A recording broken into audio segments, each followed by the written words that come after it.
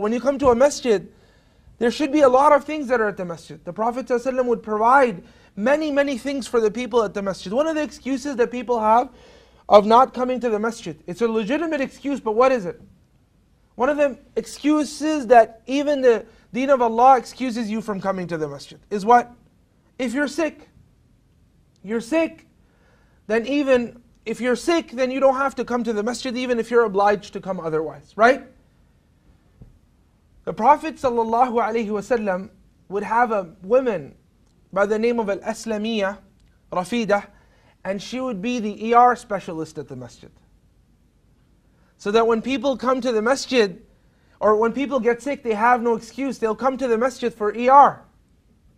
Yeah? And in my travels, I've actually seen a masjid that has a clinic inside of it. So when people get sick, they can go to the clinic and pray salah at the same time. Right?